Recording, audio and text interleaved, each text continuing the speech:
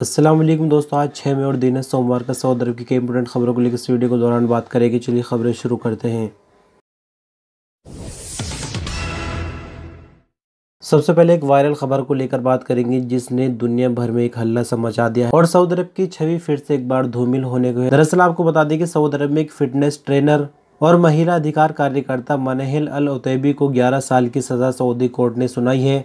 मनाहिल अल का कसूर यह है कि ये अपनी मर्ज़ी के कपड़े पहनकर घर से बाहर निकलती थी, वीडियो वगैरह सोशल मीडिया पर पोस्ट किया करती थी। जबकि सरकार के खिलाफ भी ये अक्सर लिखा करती थी, बहरहाल 11 साल की सज़ा सऊदी कोर्ट ने दी है और दुनिया भर में इस खबर से हलचल है। फ़िलहाल आप इस वीडियो में देख सकते हैं किस तरह के ड्रेसेस पहनती थी और ये सोशल मीडिया पर भी वीडियो बनाकर पोस्ट किया करती थी। लेकिन यहाँ सवाल ये भी है कि अगर गवर्नमेंट पूरी तरह से लोगों को छूट दे दे कि वो अपनी मर्ज़ी चलाए, कोई भी कानून उन पर लागू ना हो तो फिर आप इस वीडियो क्लिप में देखिए सऊदी अरब की एक इस तरह की वीडियो है। यहाँ पर लड़के हैं, लड़कियाँ हैं, म्यूज़िक है इसके पीछे, यानी म्यूज़िक हम यहाँ नहीं प्ले कर सकते, यहाँ पर म्यूज़िक चल रहा है और यहाँ पूरी मस्ती चल रही है। इसके अलावा मेनहाल अलुतेबी की बहन का क्या कहना है, वो अपनी बहन के लिए आवाज़ उठा रही है, वो वीडियो भी आप देखिए।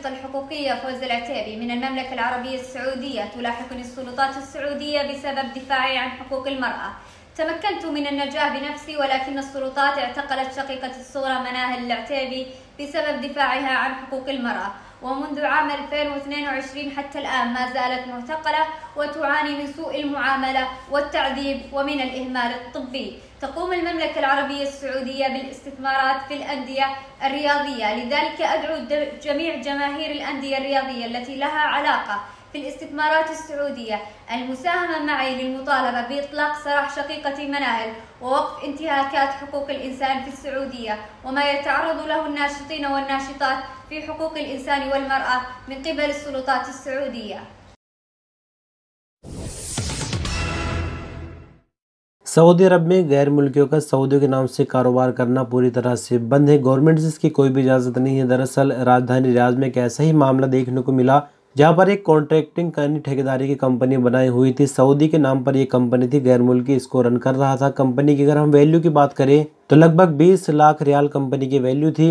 अपने नाम से कारोबार कराने, ठेकेदार कंपनी बनाने पर Saudi citizen Yusuf Ghassan Mohammed Al Usman को छः महीने और सीरिया के बंदे को दो साल की कैद और एक लाख रियाल जुर्माने की सज़ा मिली है। फ़िलहाल इस कंपनी का लाइसेंस रद्द कर दिया गया है, जबकि सऊदी और सीरिया के बंदे यानी दोनों के खर्च पर सभी जो लोकल अखबार हैं, उनमें एडवर्टाइजमेंट भी कराई गई है ताकि दोबारा से कोई लोग ऐसे ना करें। साथ ही साथ आपको बता दें, सऊदी सिटीजन अगर जेल से बाहर भी निकल जाता है तो अगले पाँच साल तक उसे किसी भी तरह के कोई भी लाइसेंस नहीं मिलेगा। गजा, फ़लस्तीन और इसराइल को लेकर सही खबरों तक पहुँच पाना इन दिनों काफ़ी मुश्किल है। कभी खबर आती है कि जंग बंदी का ऐलान हो गया, कभी कोई खबर आती है, कभी फिर से हमले की खबर आती है।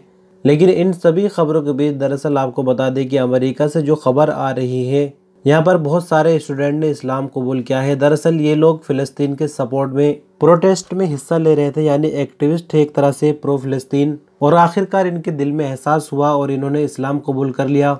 ये बिल्कुल ऑथेंटिक और सही न्यूज़ है जो कि अमेरिका अखबार से ली गई है फिलहाल आप ये पूरी वीडियो क्लिप देखिए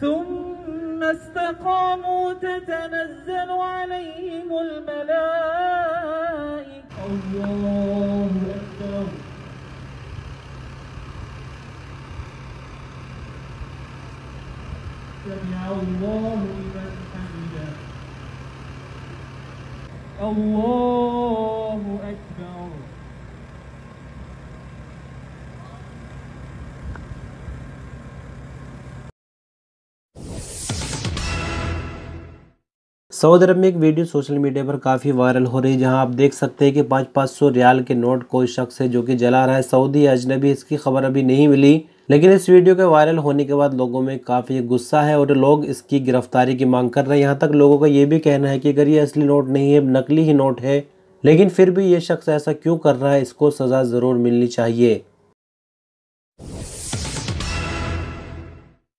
सऊदी अरब की बल्दिया ने लेडीज़ टेलरिंग शॉप के लिए कुछ नए नियम जारी किए हैं। साथ ही साथ आपको बता दें, ये नए नियम अभी पूरी तरह से लागू नहीं हुए। इसके लिए लोगों से राय भी मांगी गई है। दरअसल आपको बता दें, लेडीज़ टेलरिंग शॉप में साल 2024 से मर्दों की एंट्री पूरी तरह से बंद होगी। सिर्फ़ इसमें औरतें ही काम करेंगी। मर्दों की एंट्री को पूरी तरह से रोका गया है। बल्दिया ने अपने प्लेटफॉर्म इस ततला पर लेडीज़ टेलरिंग शॉप के हवाले से लोगों से राय मांगी है।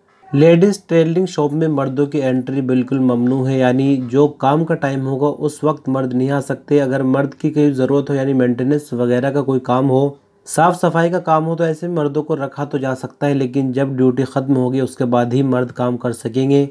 और भी कई छोटे छोटे नियम है इसको लेकर, लेकिन हमने आपको जो खास नियम थे मेन वो आपको बताए। लेकिन देखा जाए तो एक अच्छा कदम है सऊदी गवर्नमेंट की तरफ़ से। आप इस बारे में क्या कहना चाहेंगे?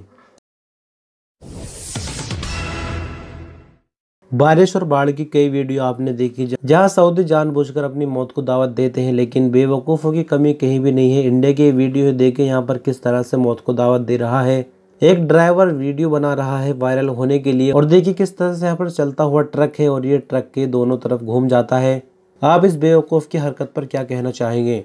बहरहाल दोस्तों, खबरों का सिलसिला बस यही खत्म हो जाता है। बहुत शुक्रिया वीडियो पर तक, बने अपना ख्याल रखिए। हाफिज़।